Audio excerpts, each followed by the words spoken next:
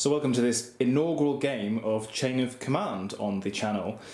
Um, it's been some time coming because I've had to get it organised and get a few bits and pieces together, but this will potentially be a pilot and a trial run for more of the same kind of video in the future.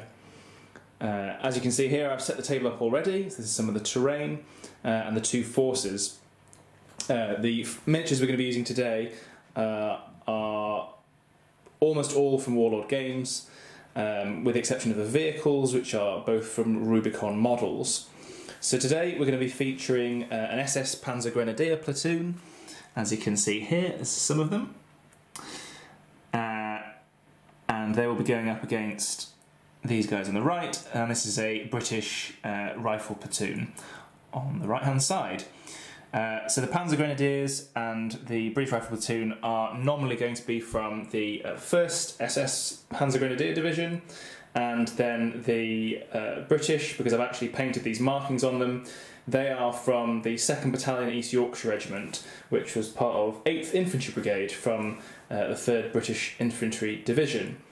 Uh, in terms of the forces, so the Panzer Grenadier Platoon will be rated as regulars for the purposes of this and they consist of uh, three squads, each with uh, two light machine guns and a junior leader, and then commanded here um, by the platoon commander, in this case not an officer, just a doughty uh, senior non-commissioned officer, and they should have a Panzerschreck team, but I realised at the last minute that I don't actually have an SS Panzerschreck team, which I'll rectify for the future.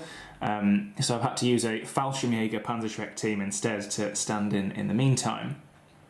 Um, the British Rifle Platoon consists of the platoon commander and the platoon sergeant, as you can see there, a 2 inch mortar team and a Piat team, and then three infantry sections, which you can see around them there. These are the three infantry sections, each uh, consisting of 10 men with a junior leader and a Bren gun, split into a six man rifle team and a Bren gun team. Um, the scenario we're going to be using for this is the patrol.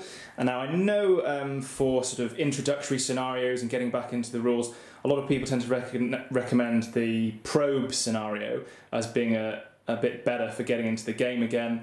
But I just really wanted to get some figures on the table and, and roll some dice and get back into the game. So this is going to be a stand-up um, patrol mission where each of the forces will roll to see where their patrol markers, which you can see here, come onto the table and depending on the dice roll, they might come in on the left, centre, or right hand sections of the table, and then correspondingly on the other side of the table. In terms of support and support points, um, I haven't used the usual system. Uh, I just decided to put some things on the table that I wanted to see. So, in the case of both sides, they've each got uh, an attached machine gun team, a heavy machine gun team. So, in the German case, uh, they've got an MG42 team there, as you can see lurking, and then each, as you've probably already guessed, is going to have uh, a tank as well. So in the Germans' case, uh, a Panzer IV, uh, and then as we pan over here to the British, the British have got their Vickers machine gun team, uh, and then a Sherman tank from 27th uh, Armoured Brigade there. And so that's the two forces. Uh, the way it will work is the machine gun team is available immediately for both sides, and then if the turn ends at any point during the game, uh, the tanks will then become available for both sides, but will still have to be brought on as per the, the normal sketch for bringing things onto the table. I have already uh, done the uh, morale, so in the case of the Germans, they'll be starting at 8, uh, and the British will be starting at 9, some pretty low morale, morale rolls for those. Um, but yeah, that's all the sort of pre-game admin done in terms of support and morale. So we'll move on to the patrol phase and uh, we'll be right back for that. So that's the patrol phase complete and the jump off points distributed onto the board. Uh, so after that phase, it turned out that the uh, German side have got uh, three jump off points on each side. So there's one here in the woods, there's one there, behind that fence, and there's also one on the top floor of that building, um, which I will take the roof off later as it becomes necessary. And then from the British point of view, um, they were slightly hemmed in, uh, so they've got one patrol marker there on the road, a one there behind that hedge, and there is also one just there in the woods. There we are. Uh, so that's the jump off markers complete, so we'll go ahead and get started with the first phase. Actually, just a quick aside, as I realise that I haven't discussed uh, the terrain on the table or the objectives for the game. So the objective for the scenario, the patrol, is simply to uh, break the opposing side, reduce their force morale enough, uh, and get them to withdraw from the table. In terms of terrain, so the uh, small hedgerows, these ones here, uh, and those ones there, uh, are going to be light cover and you can see across them um, without any impediment. The bigger hedgerows, such as here and here, and on the far side there, um, those will also be light cover, but you can only be seen within four inches of them. Uh, and then for the areas of woods as well, same idea. Um, four inches in, you can't be seen, uh, and the buildings and the uh, walls will be uh, hard cover. Uh, the fences will also be light cover, and you can't be seen if you're further than four inches from them. Uh, and that's the table. The uh, the various different types of fields and so on. So you've got the ploughed fields over there, um, and then you've also got some other fields in the back of that building as well. Um, for the purposes of this, just make things straightforward, they won't have any impact on the game. And if the uh, armour vehicles do come on later on in the game, um, I know they've got to come in within a certain distance of the entry point, which would be a road normally. Um, but because the tables have been divided up into thirds, uh, what we'll do is just say they can be brought in um, wherever practicable in those original deployment thirds. Uh, so from the German point of view, um, they would have to come on somewhere in this middle third here. Uh, and then from the British point of view, they're going to have to somehow squeeze a, a Sherman in along that back side there, not through the hedge, um, probably into that open ground there, which is not ideal for deploying an armoured vehicle. But I think that road entrance point um, might actually be slightly outside the deployment area, um, but we'll have to check that later if it becomes relevant.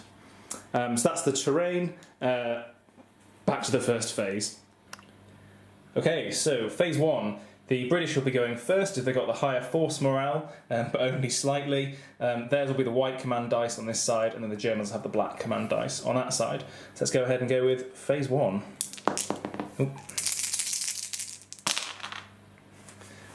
So that's an immediate double phase, a one, a three, a five, and two sixes. Uh, so we will go ahead and do something with those. So that first dice roll, we use the uh, three for the British to bring on number one section here in these trees. And they haven't done anything else because there's no point putting them on Overwatch or anything like that because they can either see anything nor be seen until they get close to the hedgerow. And then with the one, we brought on the Vickers team and, placed it in the building over here. Uh, with the idea being that it will keep an eye on this uh, rather large building on the left hand side of the board, which has got a uh, German jump off marker in it. Uh, and then the rest was a single chain of command point, uh, and two sixes, which created a double phase. So for double phases in this game, uh, we're just going to do them exactly as they sound in one sense, which is that if you roll double six, you get a double phase, which means you go again, but that's it. You can't have any more double phases thereafter. So even if you know you roll two more double sixes in the next, you won't get another double phase. But if you roll three, it, it will end the turn. Uh, so we'll go ahead and roll for the second British phase.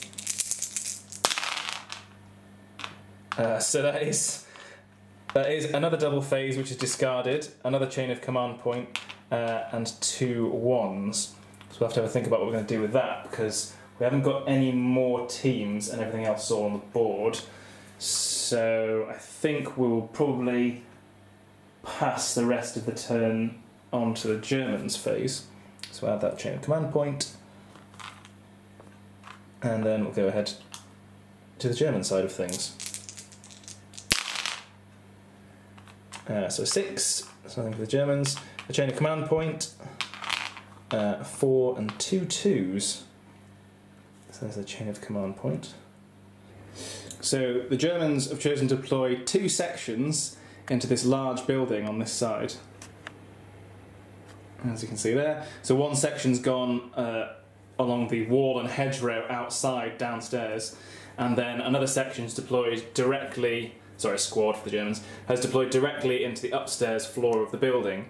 Um, although they didn't come in with any command initiatives, there's not a huge amount of threat from the Vickers over there at the moment because uh, it's, uh, it's an uncommanded team, so might not necessarily activate as readily. And also, there's a little bit of overmatch there because they can bring four light machine guns to bear on that single heavy machine gun potentially. Uh, but that's the Germans' turn. And so on to the British. So that's a pretty good roll. One, two, two, three, and four.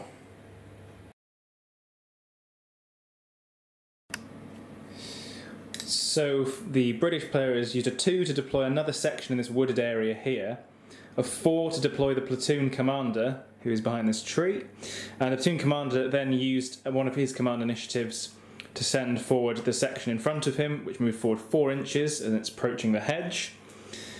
Then the two inch mortar team deployed there, just behind that building out of the way. And then with three, this section is deployed and the uh, section commander is going to have them fire at uh, the German team just here behind that hedgerow. It's the only thing that they can see, and the Bren gun and uh, how many riflemen? One, two, three, four, five, six. The Bren gun and three riflemen are going to shoot at them. Um, I did realise that because the two buildings, one containing uh, the machine gun and one containing the section, are actually outside of 18 inches of each other, they are technically unaware of each other's presence until the other one opens fire. Um, so, although, yes, the players know that uh, there is teams in each building, they can't actually engage each other at the moment. So, that section is now going to open fire at those Germans over there uh, with nine dice.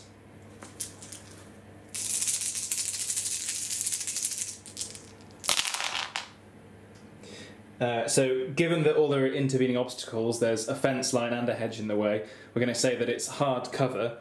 Uh, so, 1 to 4 is nothing. Uh, so, that's two points of shock and a casualty on that team just there. That's the result of the section firing. They've got two points of shock and they've suffered the first casualty of the game with one of the riflemen in that LMG team going down. Um, they can't spread the hits because uh, the team, whilst visible potentially behind the wall, can't actually be seen by the section that's firing between the two buildings.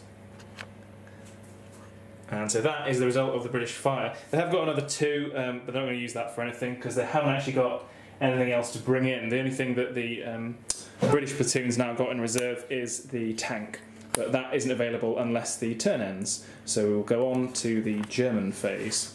Right, so German phase. Whoops.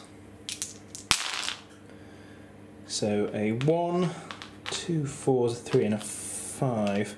So that's a, a chain of command point up to two. A one, a three, and two fours. We've got a section, a team, a team, and the senior leader left. So I think what we'll probably do is uh, bring on the MG42 team, bring on the remaining section under its own steam, uh, and then bring on the uh, platoon sergeant uh, to command it. That four is going to be lost, classic German roll. Um, yeah, that's what we'll do. So we'll go ahead and bring those on to support the two sections already on the table down there, uh, and see what we can do about repelling that British build up on one side and also this two section advance towards the jump off point in the trees on the right hand side by the wheat field. So the three was used by the German squad in front of the building to rally off the two shock that it had. Then the machine gun team came in on a one, so there's now an MG42 heavy machine gun roll in that room. The senior leader deployed on the four. He's used all three of his command initiatives. Uh, one, first of all, to direct the other team down into the bottom of the building and towards the back door.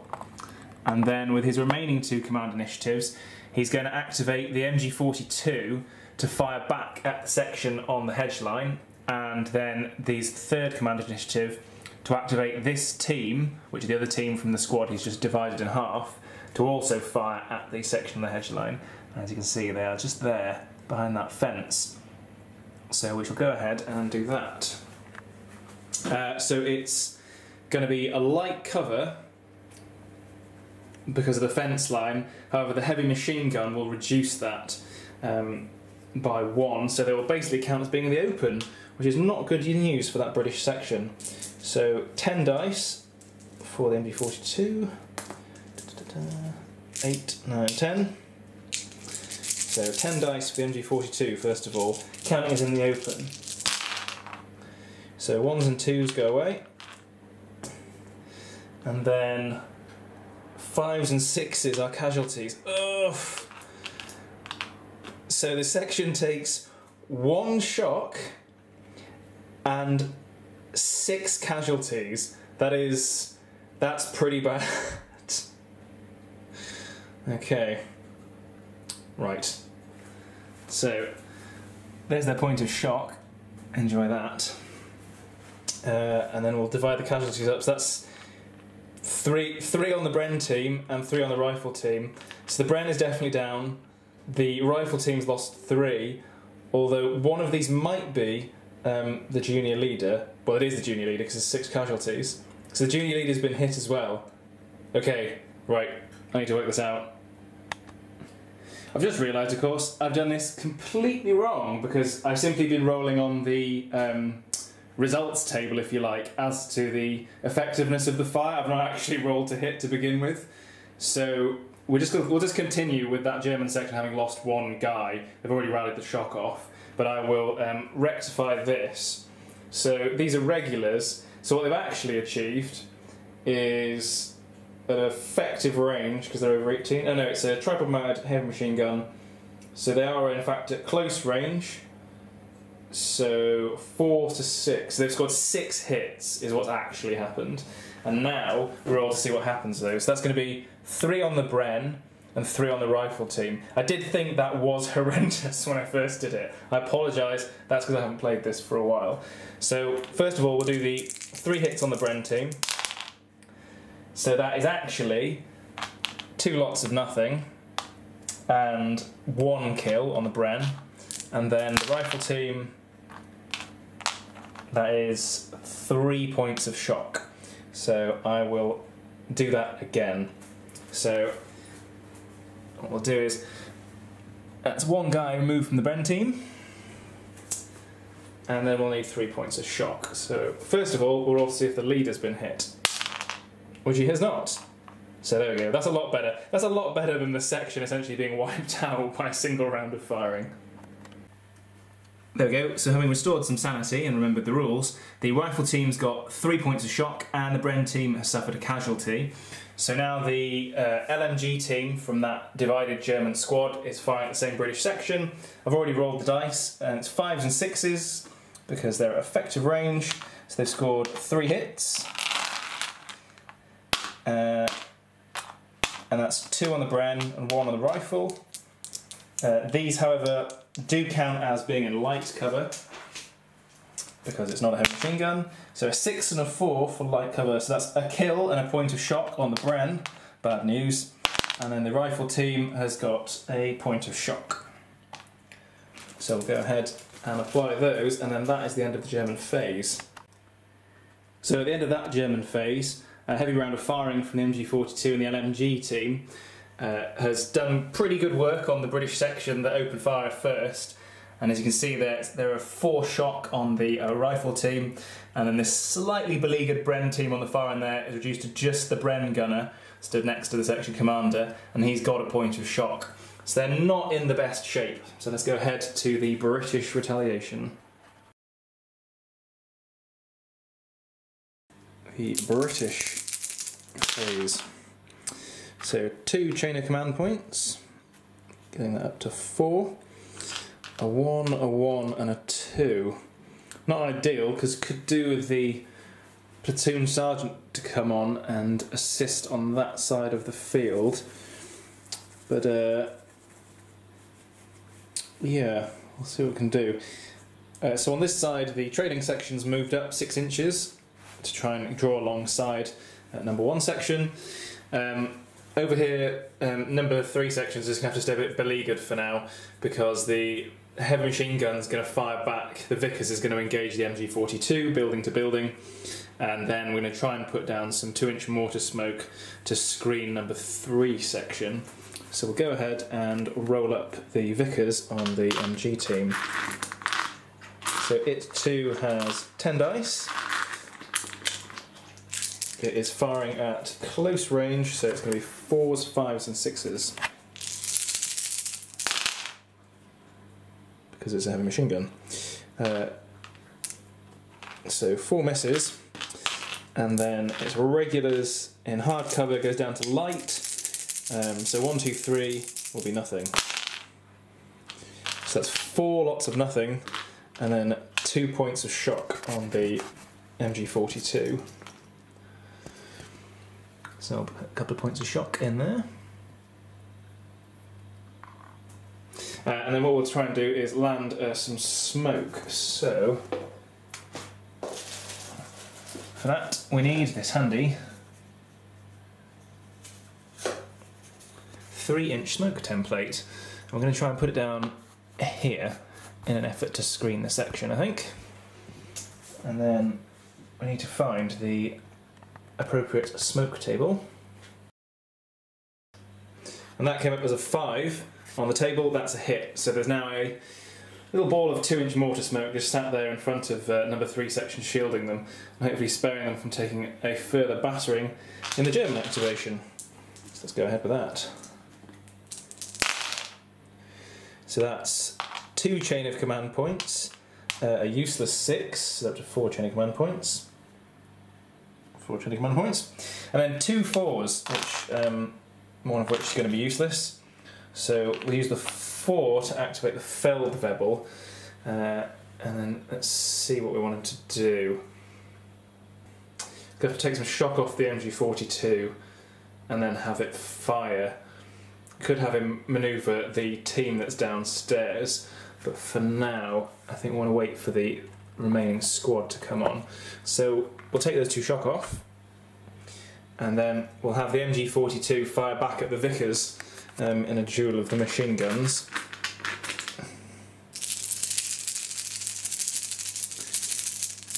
Uh, so same dice as before, needing fours, well, pretty good roll. So that's a grand total of seven hits, and then as before, one, two, and three will be nothing. So four lots of nothing, and then three sixes. So the Vickers team has quite unfortunately suffered three casualties, reducing it to just two crew, which is less than ideal. If that had been three sixes from a HE, if for example that had been an infantry gun, those three sixes would also have knocked out the Vickers, which would have just left two crewmen stood there without any weapons.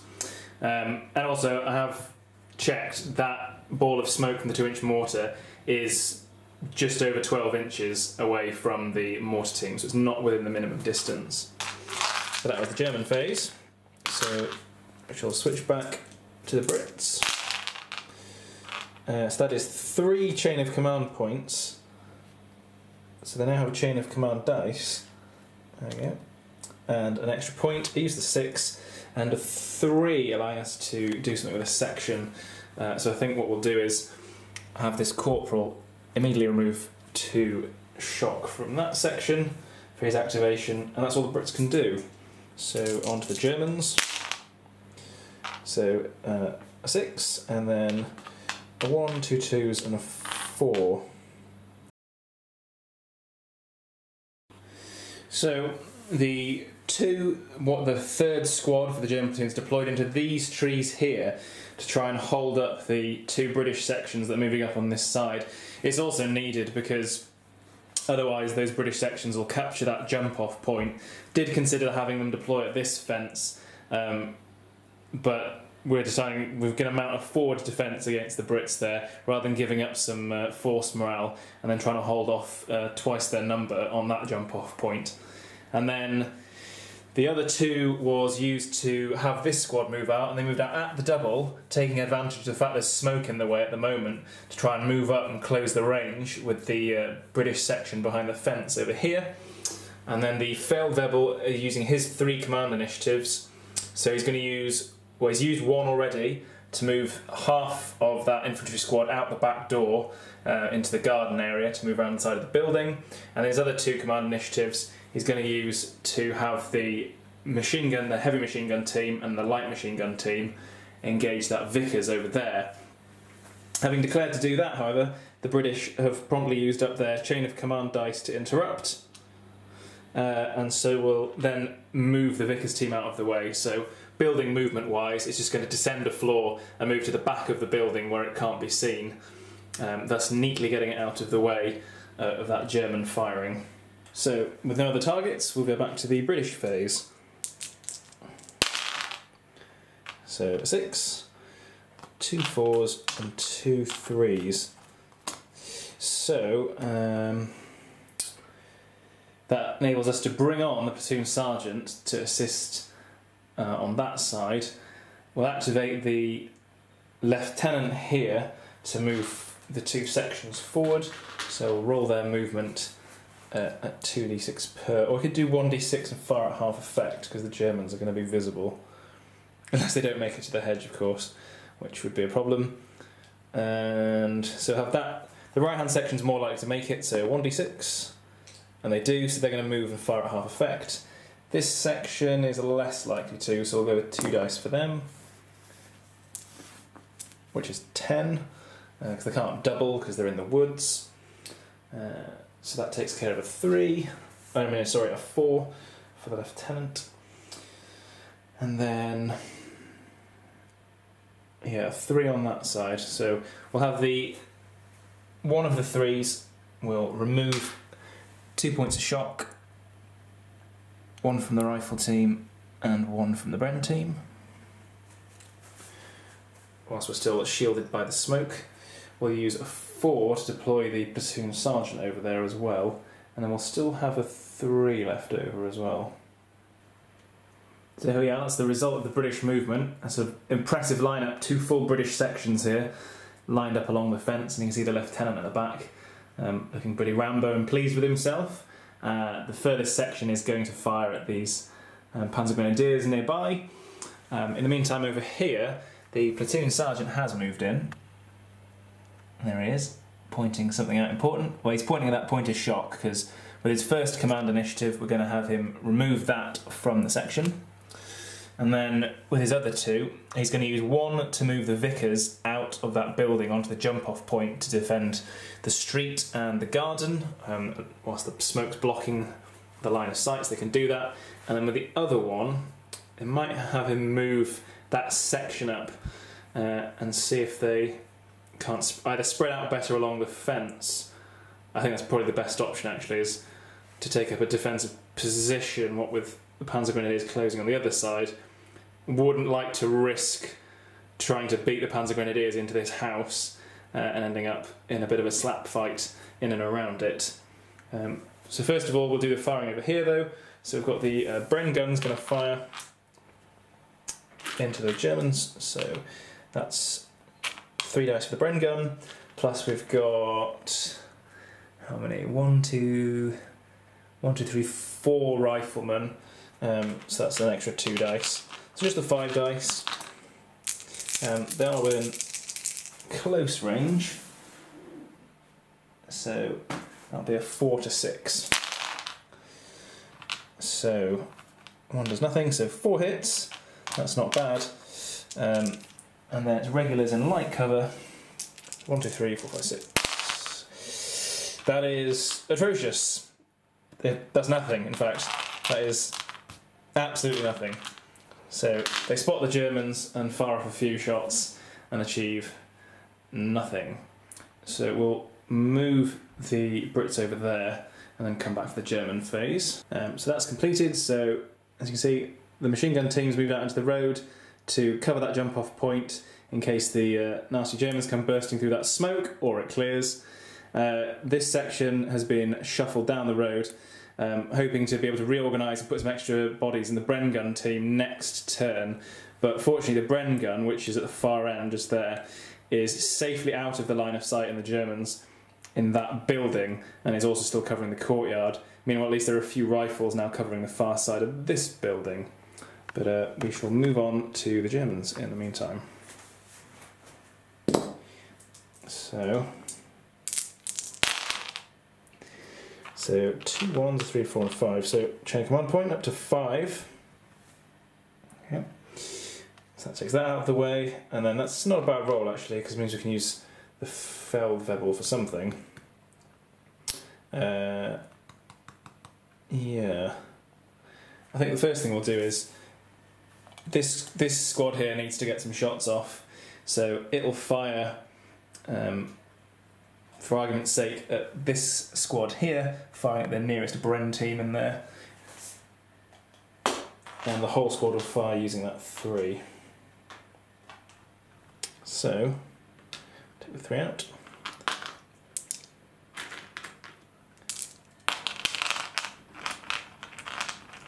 Five, eight for the light machine gun. Actually, there's two lots of light machine guns, isn't it? Four, five, six, seven, eight. And then, what's that? Two riflemen spare in each team. Okay, so there's an extra rifleman in one of those squads. So we need an extra dice, actually. Um, I just have to use a white dice. As I've got more blue ones available. That's quite a lot of shots coming the Brits away, and they're in close range. Um, so going to be hitting on fours, fives, and sixes. Can't quite get all the dice. Come on. Right, four, fives, and sixes. So take out all these.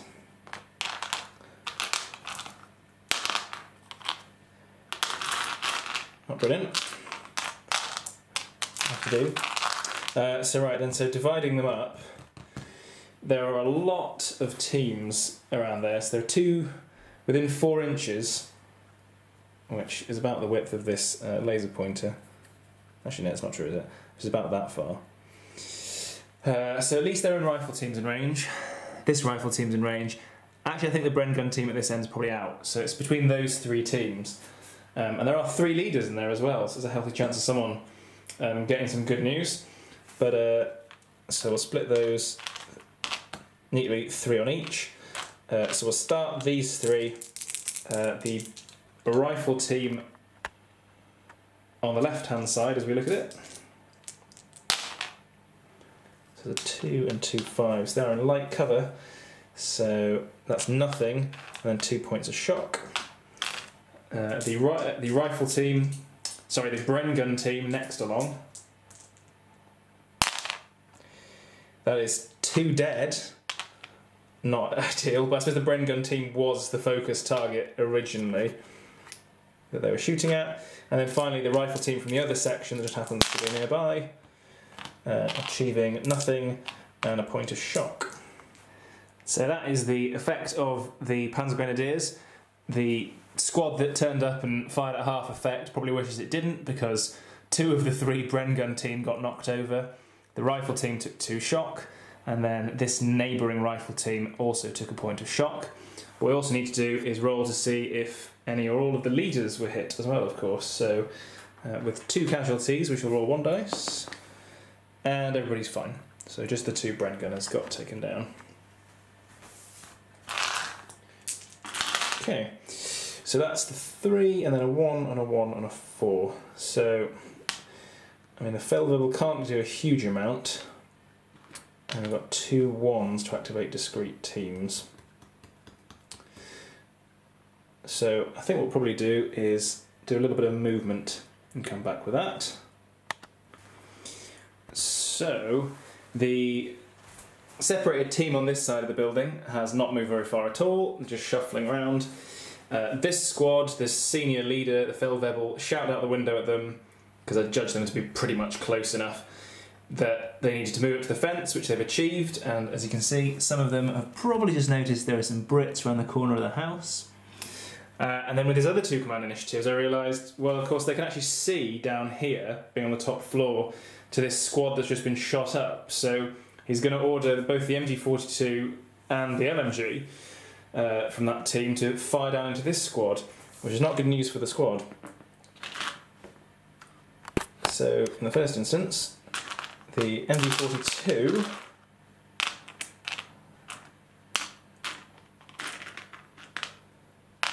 with 10 dice. Uh, it's light cover, they are going to count as being in the open because it's an MG42. I did consider saying that um, you know, the trees and so on might make it hard cover, but I haven't done that already. I'm just going to apply it consistently. If they were further back, maybe, but then they won't be able to be seen anyway. I'm just going to play it as, as, as light cover. So they're in the open for the purposes of MG42, uh, which scores, it's fives because it's at effective. So that is an awful roll. They scored one hit. Um, but it is in the open, so there's a good chance it will affect somebody. It's on the target rifle team, and that's a three. So that is one point of shock. So we will apply that. So now I've got three there along the hedge. And then the light machine gun team will also fire with a quite healthy eight dice, but not reducing cover. And then there's a single rifleman that can see to join in. So fives again. Two hits. Uh, so, because of the team nearby, it'd be one on the rifle team and one on the solitary Bren gun crewman. So the rifle team, there's nothing. at The Bren gun, I was expecting him to die. Uh, he, that's nothing because it doesn't reduce cover. So apart from that point of shock from the MG42, they actually got away pretty well with that. Uh, so now let's see what the Brits can do in return. These are their order dice. So six nothing, two ones and two twos. Not, not brilliant. Not brilliant at all. Uh, I suppose we can have these sections fire back and maybe have that one fire as well.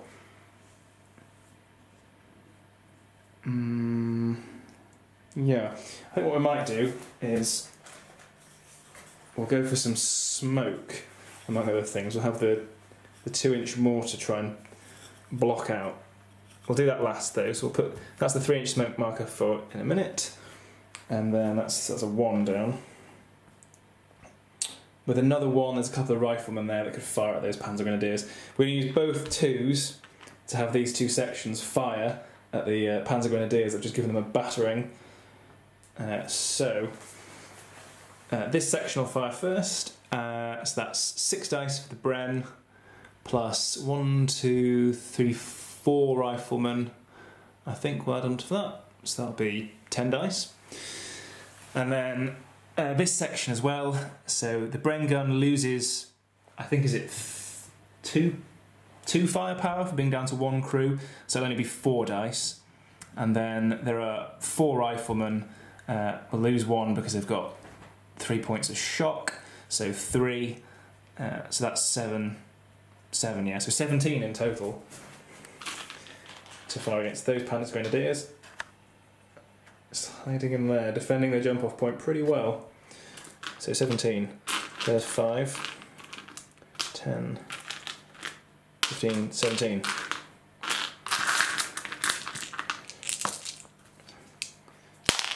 So they're in close range, needing 4.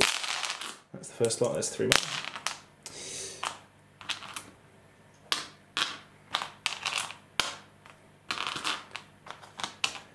Not bad and then it's light cover. So one, two, three does nothing. Oh dear. That is a whiff. Definitely, distinctly a whiff. However, one point of shock inflicted on, let's say, this team on this side. Good. Brilliant. That's two, that's two sections there not doing very well for themselves. And then that last one at the end will have a couple of riflemen fire um, at these guys. So there's the two riflemen on the end. So fours, they get one hit on this team at the end here, and then we shall roll a dice. See what happens. Oh, almost a six, but nothing. So they achieve nothing with a couple of rifle shots, um, pot shotted off at the end. Uh, and then finally, we just need to dice for the smoke. There we go. So it was a five, and the smoke has landed where it's where it's been directed to hopefully try and suppress some of the fire from the building up there. I think actually there's a slight error there because I think it's blocking the MG42. No, it's blocking the LMG, but not the heavy machine gun. Okay, right. Well, never mind. That's why they've got more than one smoke round, I guess. Uh, so two chain of command points. So that is a chain of command dice for the Panzer Grenadiers, plus an extra pip. Uh, the six is nothing, and then a two and a three. So the three will go to this squad over here. So with one command initiative, he's going to take that away to get rid of the shock, and then with the other, he's going to have them keep firing away in response to the Brits in the hedge line. And then with the two. Okay, with the three, the squad in the woods here is going to fire back at the Brits. And then over there, we can we can't use the two for the detached team that's behind the corner of this building because although it has it, it's become a team because it's been divided in half. It has got the um, squad leader in it, but can't be activated on that. So I think we use the two to have this squad in inverted commas fire, which in practice just means having a machine gun and a one rifleman fire back at those guys over there.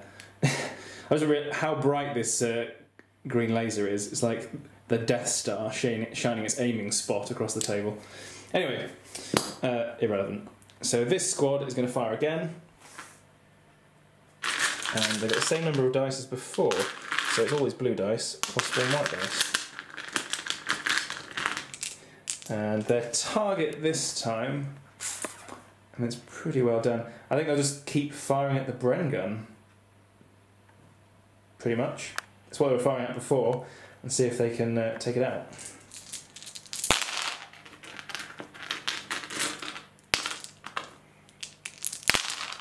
All these dice. Not brilliant shooting.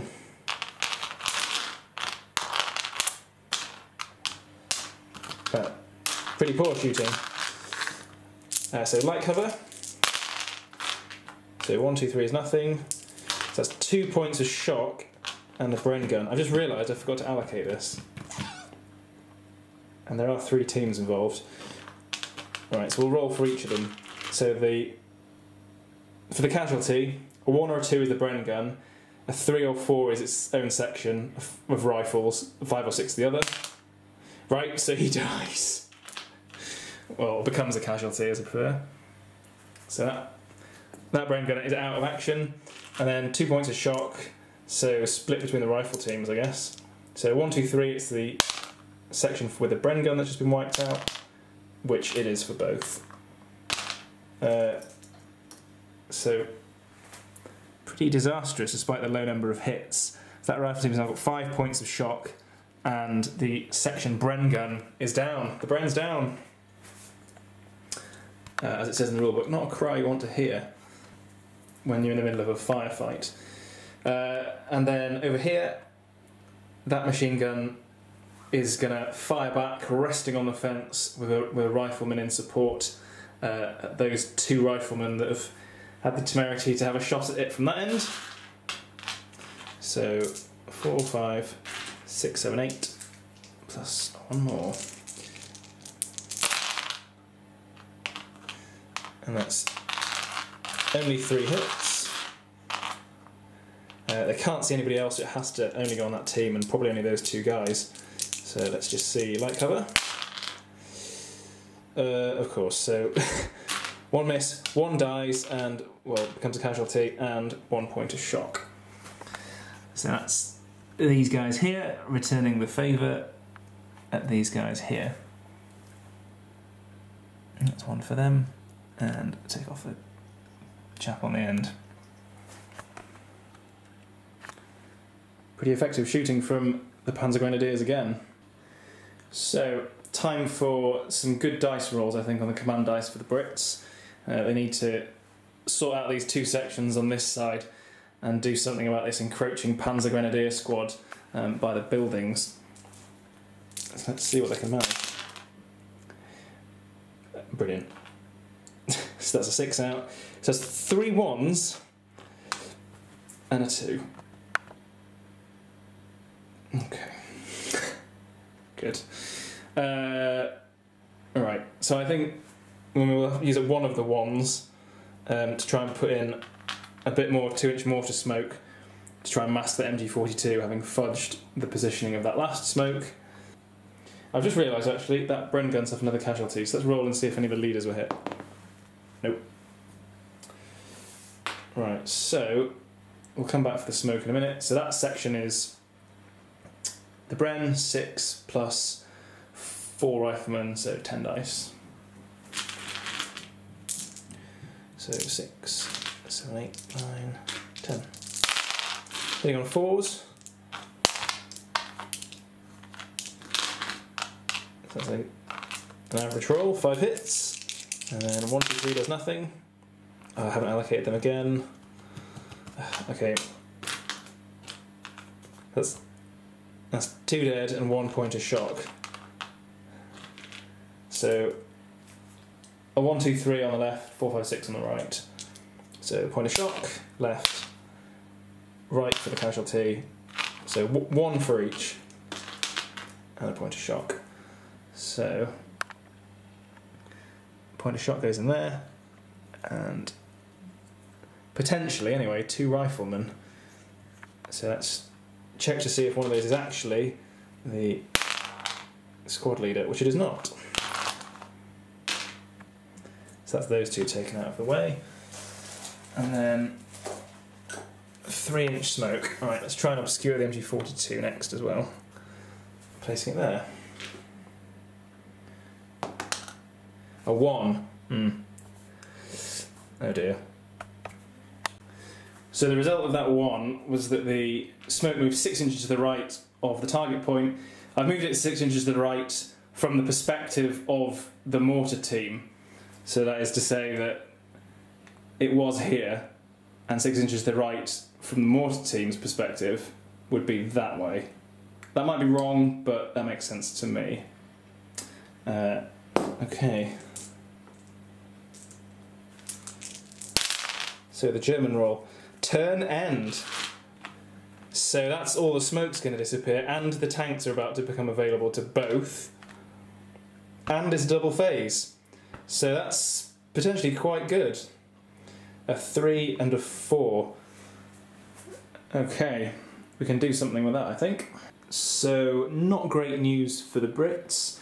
Potentially, this Panzer IV is about to roll on. However, there aren't any senior leaders off the table.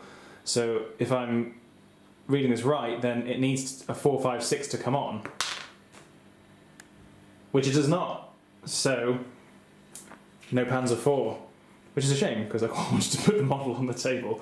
But no Panzer IV for the Germans for the moment. However, they also had a 4 left over from that turn end. You'll notice all the smoke has gone. I did also roll the morale test for the team wiped out from that section, and it came up with no effect um, which is lucky because both sides have got relatively low starting force morales. So with the four, then the senior leader up here is going to use. Hmm, one command initiative to have the MG42 target that Vickers, which is actually going to be in the open. I just realised, of course, because it's only got the light cover of that fence in the way, so he'll have that fire and then two command initiatives to fire the LMG team from that squad over here. I'm just trying to figure out if they can actually see the Bren gun team.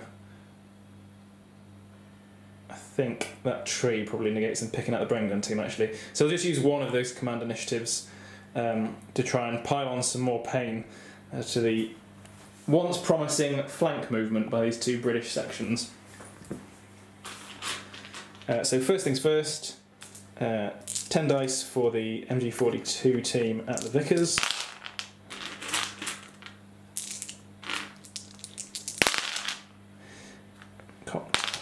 So needing fives. getting three.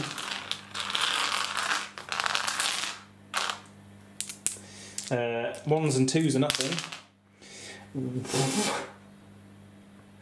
Okay. Good. Team wiped out. Two. That's nothing again. I know because I rolled a two on the other one. So, despite the fact that the Vickers has just been removed from the game, apparently nobody's bothered. But I suppose it's an attached weapons team, so perhaps they didn't know them very well. Um, and then the LMG team will fire its eight dice plus a rifleman at that rifle team over there. Uh, needing fives because of the range, so only two hits. Uh, just in range of that other rifle team, so that's one on each. So the original target, nothing. And then a kill, no, a casualty, on the other rifle team, of course. So I'll take him out. Right, checking leaders, so for that gaggle of leaders over there, um, another dice with death, no pun intended. That teach me to uh, make jokes because that's one of the leaders somewhere in there has been hit. There are two section commanders uh, and the platoon commander stood in there. So on a one or a two, it's the lieutenant. On a three or a four, it's the far section commander. And on a five or a six, it's the near section commander. So it's this near hand section commander, the one that's actually just taken the loss. So, sorry, we'll pop that rifleman back in. And we shall see what happens to him. Okay, so there's two sets of dice there. That is the five for the corporal that's just been lightly wounded. So he's going to lose a command initiative. But is otherwise fine. He hasn't been um, knocked out. And then this is because the platoon sergeant was just behind the Vickers when they got wiped out, and uh, turns out actually one of those hits was on him. Fortunately, it came up as six on the second dice, uh, so he has also lost a command initiative. But it does mean the Vickers will be back in play, uh, albeit with only one crew. Um, I don't fancy much for its chances in the next couple of turns. And there you go, that's the aftermath. So that's red markers to indicate that the Vickers is down to just the guy manning the weapon. The platoon sergeant's lost a command initiative, and this section commander's lost an initiative as well. It actually kind of makes sense, bizarrely enough, because of course that platoon sergeant is directly behind the Vickers and thus in the line of fire from the MG42, and that section commander is directly in the line of fire from the LMG. So there you go. However, it's not going great for the Brits as a consequence, as we're going to have to do two um, leader wounded rolls, I've just realised. So that is a six for the junior leader wounded, that's two off the force morale, and senior leader wounded four, that's one off the force morale. So those injuries have reduced the Brits by three down to just six, which is not great. Right, so we'll move back onto the Brit turn. So they've got a one, two, and three fours. So one of those fours is going to go begging immediately. And then they've got two fours. So can't get the tank on. Could do with could do with a Sherman to support. That would be good. So with those command dice, we've used the platoon sergeant over there has used one dice to move himself just to that next to that opening in the hedge.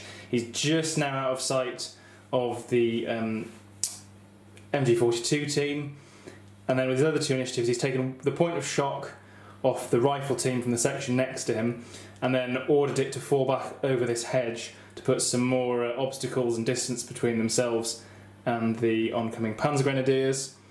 Uh, the Vickers is kind of stuck uh, because it's down to one man, so it can't be moved.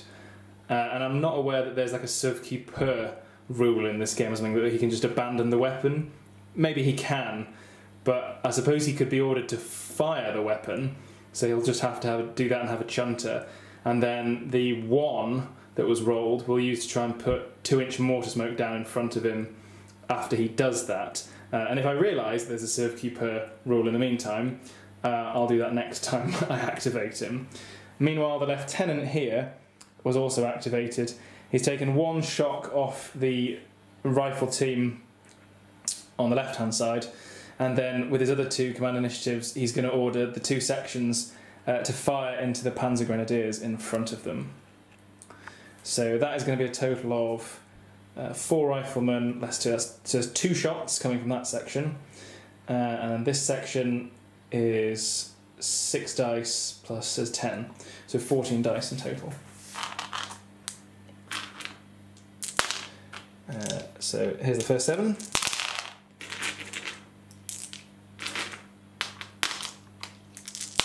Here's the next seven, needing fours. So that is four on the left hand team and three on the right hand team. So two nothings and a point of shock. And then two nothings and two points of shock. So Vickers can fire, it's down to just seven dice, it loses three firepower now that it's got a single crewman. Um, but he's decided to uh, try and retaliate uh, as he can't move the weapon and all his comrades are down. So with seven dice, uh, needing fives, so he gets two hits. Uh, reduces cover by one, so it's a light cover. So he inflicts two points of shock, which is something. Uh, on the MG42 team in this building here. So there we go. Add that to them. Uh, and then we just need to see what happens to the ball of smoke. Two. I think that's six inches to the left. Uh, that smoke round landed about where you can see the hole in the roof of that building, actually. So maybe that's where it came from. Uh, but as such, I've discarded it because it's not an easy way of perching the smoke on there, and it's essentially pointless because it's just on the roof of the building. Uh, so we'll just progress on to the German phase instead.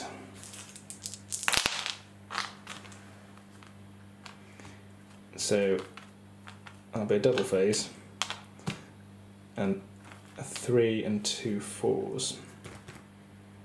Okay, so take the double phase out for now. With a three, let's see if the Panzer IV comes on, which it does. Good, good news. Although not for the East Yorkshire guys. So the Panzer IV is on. Uh, as I said at the beginning of the game, I've deployed it in the the the jump off third that the Germans used at the beginning of the game. Um, I mean, this is all still their, relatively speaking, their table edge. Um, and I've deployed it on this side because it seemed ridiculous to deploy it on the other side, completely next to the um, ongoing firefight. Um, so not great news for the British, but it is going to have to work its way around to get into a useful position in the meantime. Uh, and then with the two fours, one's going to go begging because we've only got the Feldwebel, and then the other is going to be used uh, once more to activate the MG42 to try and finish off the pesky Vickers team, uh, and then this LMG team to continue trying to support the firefight um, over there along the hedge line. Uh, so we'll do that now. So that's what is athletics? Uh, and it loses one having two shock. And that is one hit. Could could be the hit that counts. It's not, it does nothing. Sorry, if you can hear a scratching noise in the background, that's my dog. Uh, and then the LMG team, with actually the same number of dice, is going to fire at that rifle team on the end there. So, three hits.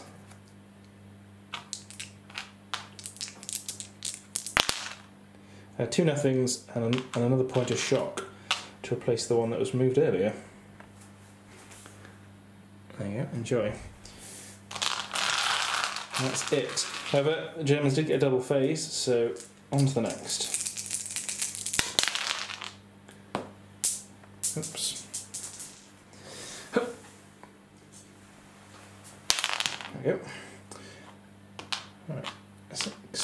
Two ones and two threes.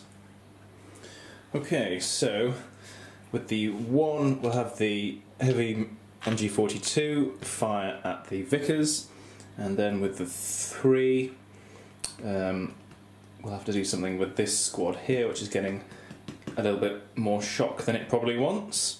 Uh, so the MG42, first of all, with nine dice, because it's got two shock, uh, to fire at the Vickers in the back corner. So hitting on fives is a pretty good roll. Scored six hits uh, and reduces the cover to in the open. So I don't think the Vickers is going to uh, get through this. And it doesn't.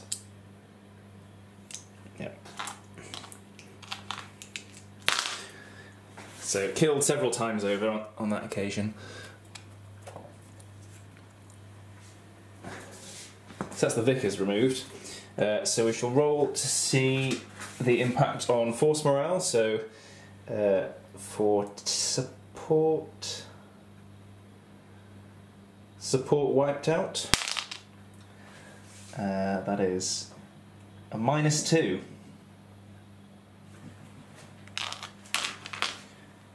So that brings the Brits down and loses them a command dice, which is not ideal for them. And then for a three, we're going to activate this uh, squad leader in here, and he's got three points of shock on this machine gun team, and then a point of shock on this machine gun team. This way around. Uh, so he's going to activate the whole squad to fire naturally, but I think the best course is maybe to take this point of shock off, so this team is still firing at full effect. And will immediately lose a dice if it takes another point of shock. So then he'll have that section fire. The section on the left's pretty well um, shocked up, so we need to try and thin out uh, the section on the right a little bit more, as it has got a Bren gun team in it still. So we'll try and do that. So that's uh, eight dice for the MG42 on the right, uh, plus two riflemen, and then eight dice for the light machine gun on the left as well. So 18 still. Oh, less one for the two points of shock.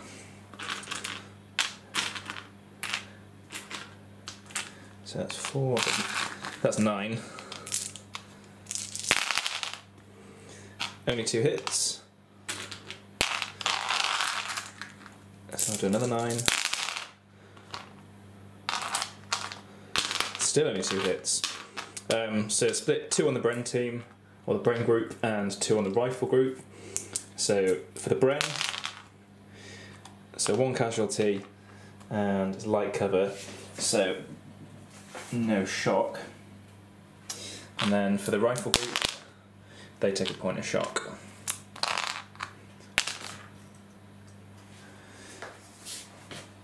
There we go. Not a very good day to be a member of the Bren groups, clearly. And that is the German activation. So the Brits are down to just four command dice now. Um, as you can see there, having been reduced to just four morale points. And the Germans yet to lose a morale point. It's not going particularly well. We'll see how much more the um, Brits can make out of this, but they might voluntarily withdraw uh, as the sections are getting depleted. The Vickers has been wiped out, and no sign of the tank, which is kind of what they might need to try and have a chance of getting back into the game. So one, two, three, and four. Um, okay, so I mean, with the the three, we can try and bring the bring the Sherman on. That'd be something to do. The four will probably activate the lieutenant to try and get those two sections um, into action. Problem is, they've just got so much fire going to be coming down on them because they're getting shot up by the Germans in the building here, in addition to the section in front. Uh, and they've already lost one Bren group. Uh, and then the one and the two, can use a two to maybe activate that spare section over there. Um, probably try and get them out of the line of fire of the advancing Panzer Grenadiers, and then the one probably for the mortar. Uh, so we'll go ahead and do some of those things. Okay, so the two inch mortar lobbed some smoke and it went six inches long. Instead of landing in front of the building by the end of the approach hedges, it instead plopped itself onto the corner of that wall, uh, which isn't very useful. Uh, with the two, that section uh, has retired back over the hedge to try and defend the corner of the field and where the jump off point is. And then with the four, the lieutenant, the platoon commander, has taken a point of shock from each of these sections. And then with his last command initiative, he's going to have the section that still has a Bren uh, open fire at these Panzer Grenadiers that are plaguing them to the front. So that'll be six dice for the Bren, and then four riflemen, so ten shots. Let's take those away.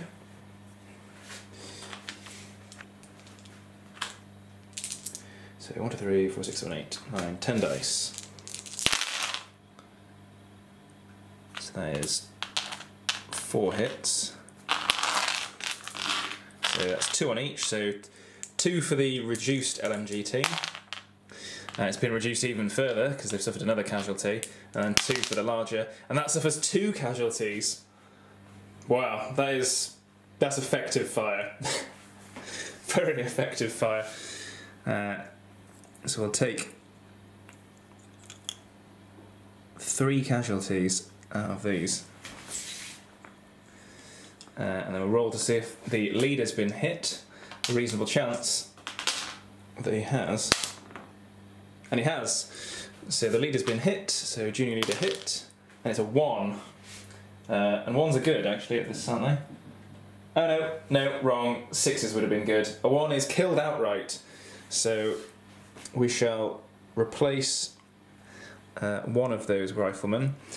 And unfortunately, directing the fire at the back here, the uh, German squad leader has bitten the dust, which is not ideal. So we'll also roll a force morale to see what happens to that. Two. And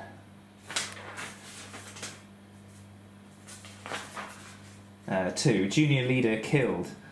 Only minus one. So the, the Panzer Grenadiers are down to seven, uh, and I've just lost a squad leader taken out. So pretty good for the British. Um, it might not be enough. Oh, and the three was used to try and bring the Sherman in, but because there aren't any senior leaders off the table, it promptly failed the roll to turn up. So uh, the the two-inch mortar team there um, is probably somewhat relieved because it means they're not going to have to try and get out of the way for a Sherman. But uh, the platoon as a whole could do with the, the tank turning up. So the Germans get a chain of, chain of command point, uh, six that doesn't do anything, and then two threes and a two. So the German Panzer Grenadier section that's lost its uh, section commander was activated on the two, and as you can see here, has fallen back in the woods, slightly further back from its jump off point, um, recoiling back from having taken those sudden, somewhat stinging losses. However, as for the rest of the field, behind it the tank moved up slowly and rotated, crushing a bit of the fence in here, and it's going to support one or two options here. It can either try and support this section, which is now without a junior leader, but actually, I think what it's going to do is support this section, which has hopped the fence and moved in front of the building, and we're going to use the uh, Panzer IV. It's going to fire its main gun um, at that British section over there behind the hedges in order to try and keep their heads down whilst the uh, Panzer Grenadiers then move up in a position to try and overrun the British positions. So it's going to fire HE against uh, that British section in the corner. Uh, so that's five dice HE hitting on four, five, or six. So it gets two hits, and it's going to reduce cover by one. So they're in, we'll say hard cover because intervening, there's fences and all sorts in the way. Um, but that's reduced to light cover. So they take a point of shock and a casualty. Ah. One, two, uh, a one, two, or three is the Bren. Nope. And the Bren. No. So the rifle team takes a casualty and a point of shock from the Panzer IV firing at them. I'll just quickly check to see if the. Well, actually, also the platoon sergeant's there. Nope, they're both fine. Um, so that was the German activation. So now back to just four British dice. So a 1, a 1, a 5, and a 6. Now, 1, a 2, and a 5, and a 6, sorry. So an extra chain of command point. And not ideal, a 1 and a 2. So I think the only thing we can try is. Um, well, we'll have to try and put some more smoke down. I think I can't decide what the most pressing concern is. Either the tank that's going to blast away, or the uh, machine gun in that building. I think we'll try and put some smoke down in front of the tank in the first instance and try and force it to manoeuvre. Um, and then with the two, we might have to try and move that section back. I don't think they can uh, go tactical on a two. Uh, anyway, let's get the smoke marker out. So we'll try and drop some smoke just in front of the tank here. Which, which section to try and protect is the other question. We'll try and pop it there. So, uh, six, so two, so that is six inches left, I think. Okay, so having checked, uh, yes, that section can go tactical, so they will do that um, in the hope that the Sherman is going to turn up and lend some support uh, in the next couple of phases, and the two inch mortar lobs some smoke in the direction of the Panzer IV, but it drifted off to the left and landed next to some Panzer Grenadiers. So we shall move on um, to see if the Germans can press their advantage. It's not looking good for the East Yorks. So that's a pip on the chain of command. Two ones and two threes. So that's something to activate the tank with anyway. Uh, so activate the tank with one of them and then probably push that section forward in the meantime. Uh, yeah, so we'll have with the three we'll have the tank fire HE again um, direct to its front.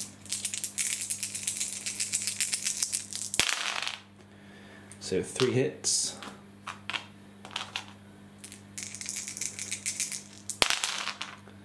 Oh, I forgot to allocate them again.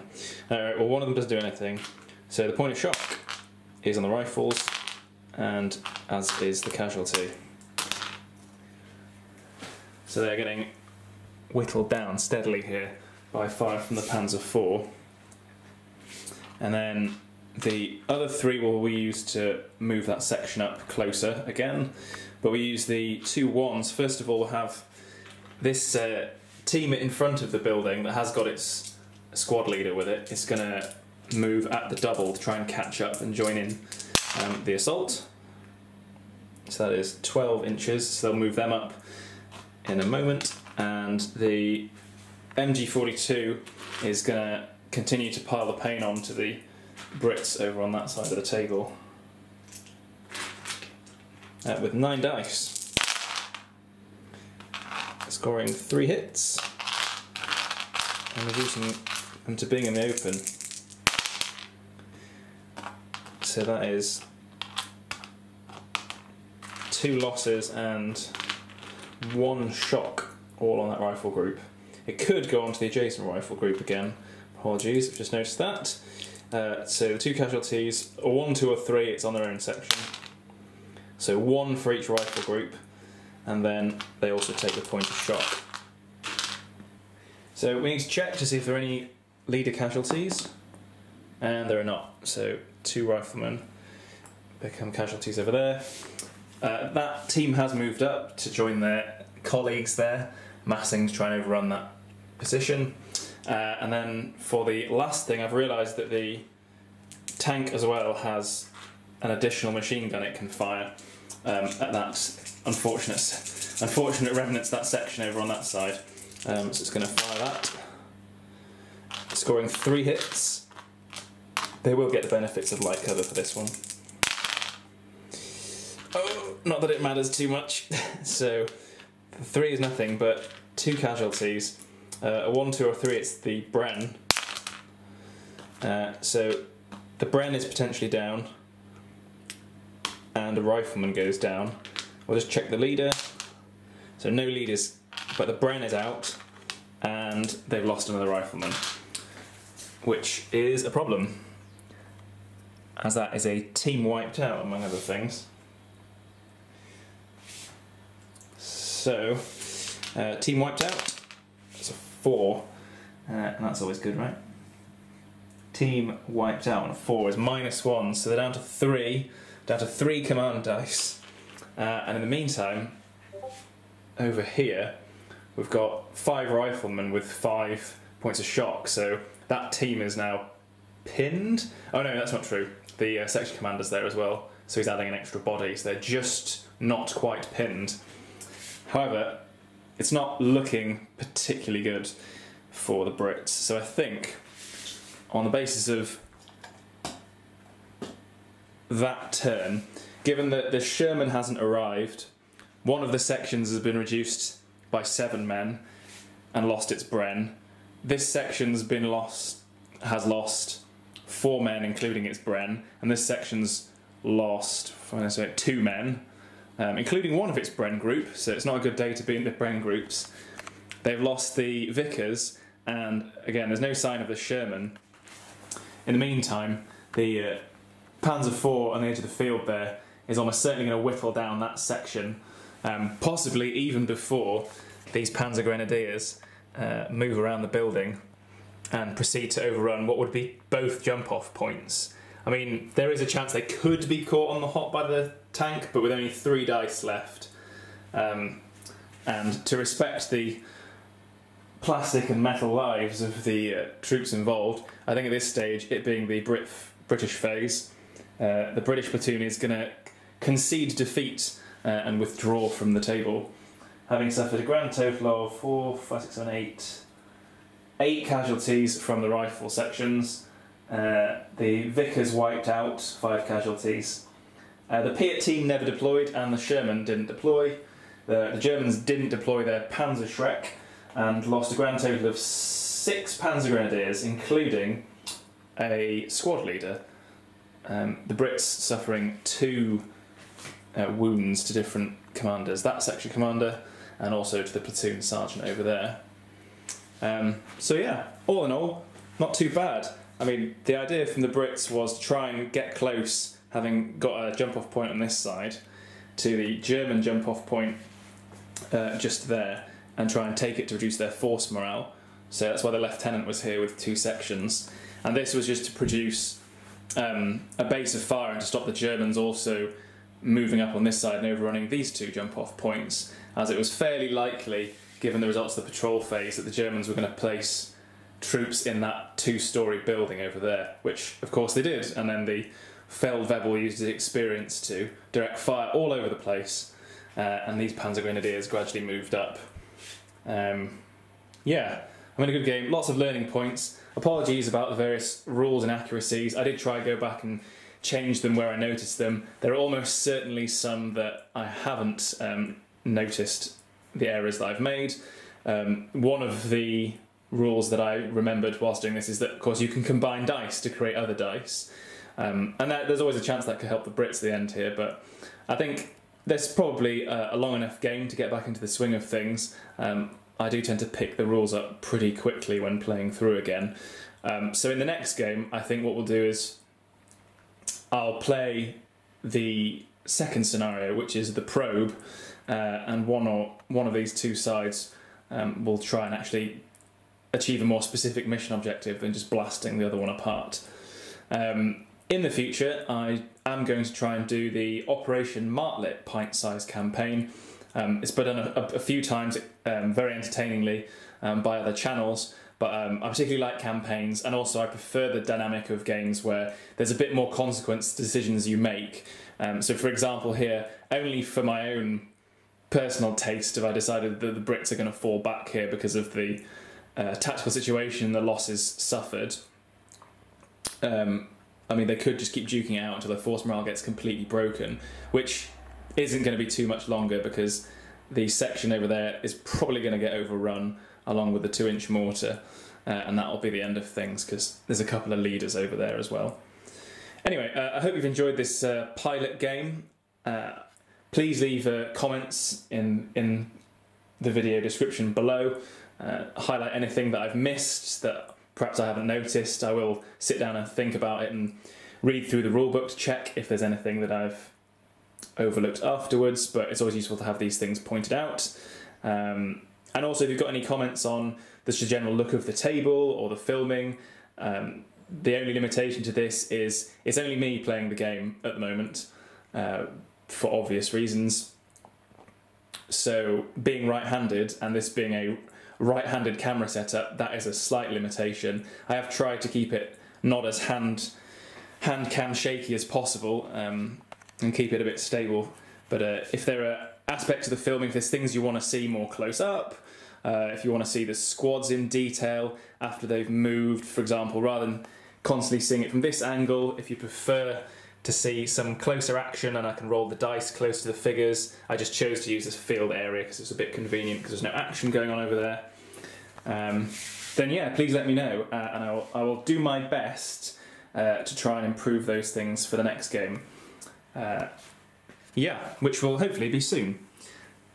There we go. There's the Panzer IV in its dominating position by that jump off point. Combined arms supporting the Panzer Grenadiers over there. Anyway, that is all for now. Uh, I hope you've enjoyed this game despite some of the flaws and limitations of having not played the rule set for a little bit of time. Uh, I look forward to seeing you in the next one.